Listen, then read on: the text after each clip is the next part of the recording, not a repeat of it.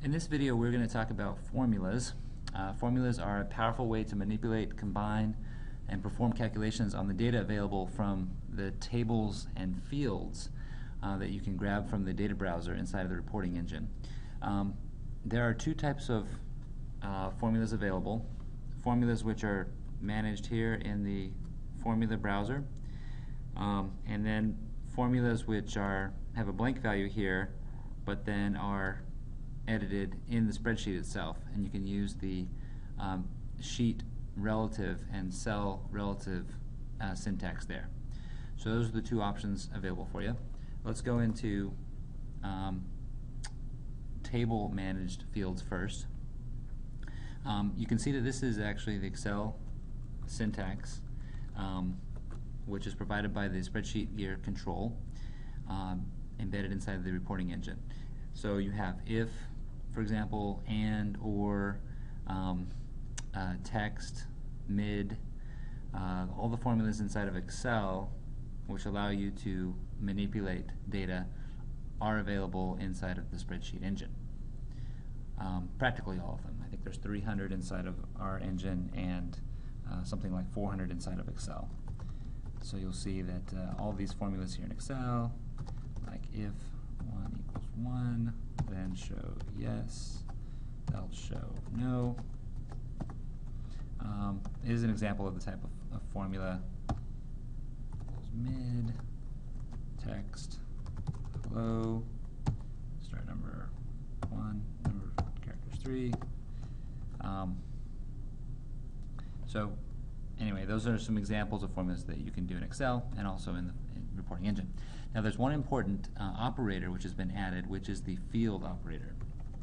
This field operator allows you to grab data from a data field um, and um, use it in a, a, formula. So for example, here we're grabbing the quan response and testing if its value is greater than a million, and we're showing the word above if it is, otherwise show below. So for this one, it's below a million, and for this one, it's above. And here we've accomplished the same thing with um, an embedded spreadsheet formula, um, where we are comparing the E29 with E34 uh, value. In this case, it is above, and then in this case, it is below the average. Um, so if you need to um, perform aggregates across cells, the embedded formula is better. If you need to grab data from different data tables, um, the data table formula is better. Formulas can be added from either to either tables as custom fields or as individual fields. So in this case, I'm going to add a custom field, and I can say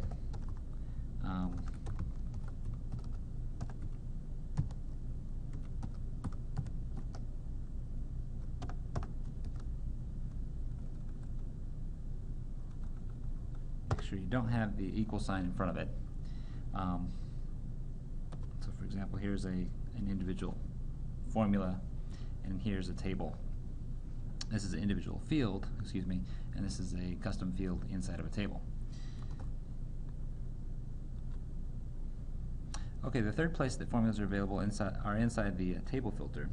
So you'll see this drop-down has um, some examples. I'll give you an idea of what you can accomplish with, with formulas.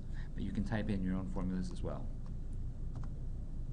And this is used to determine whether that row of that um, table is displayed or not. If it evaluates to false, then it, was, it is hidden, and if it evaluates to true, it is, is displayed. So the formula in the table filter needs to evaluate to a Boolean value. And you can see the result of that in both um, the preview for the formula custom field and the preview for the table filter. Table filter.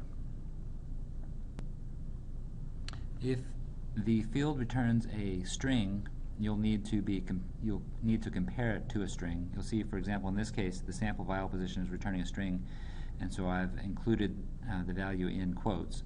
Um, so just be aware of that. In this case, it's a date, and I've included a Excel formatted date, which is a single quote, etc. So just make sure that uh, as you're evaluating in your formulas that the data types match. Excel um, supports numeric, uh, date, um, and string value types. So let me just walk through a couple of these examples. In this case, um, we're just te testing if the sample.vial position is greater than 2. And you can see that I can um, execute this, even though this is a quan results table, so it has one row per quan result, um, the field operator knows how to look up the corresponding sample object uh, from that quan result based on its sample ID.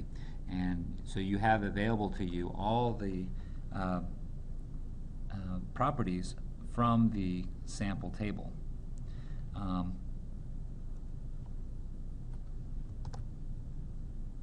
so if I wanted to show, for example, the barcode expected, then I can look at this formula, um, fully qualified formula with the table name and field name on it, and I could then come back to my custom formula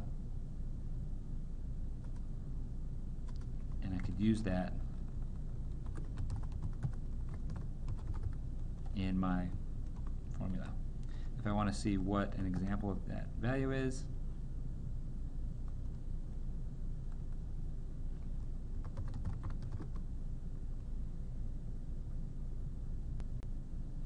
Okay, had to take a break to fix a, a brief bug, but uh, as you can see in the quantitation table, I'm able to pull, for example, the sample barcode expected.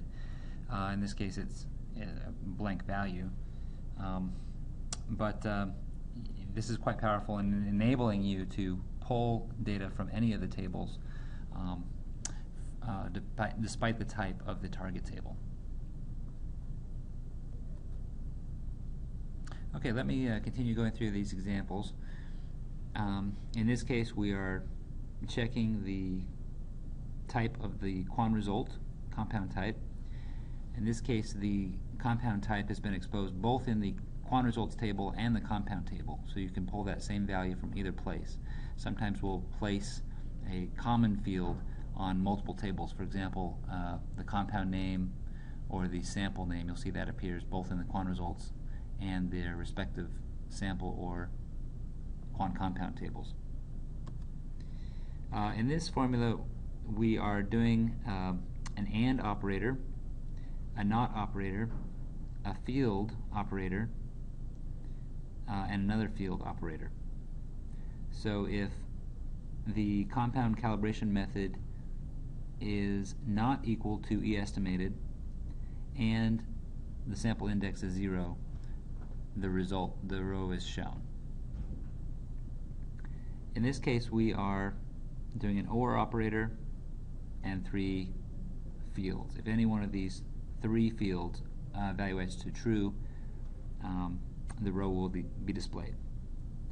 In this case, we are testing if the sample type is Cal Standard and the vial position is greater than 2 and the acquisition date is greater than 212. In this case, we're simply testing that the calibration method is equal to E estimated and the field sample index is equal to 0. All right, well, that's all we have for formulas. Um, I hope that this proves to be a valuable feature in creating powerful reports.